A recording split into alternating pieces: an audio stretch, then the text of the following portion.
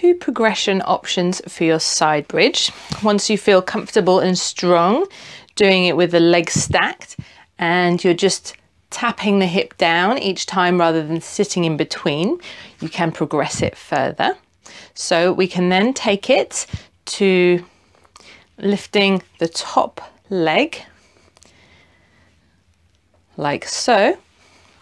Once you've mastered that one, you can take it a little further by keeping the top leg extended all the way out as you lift the hips up.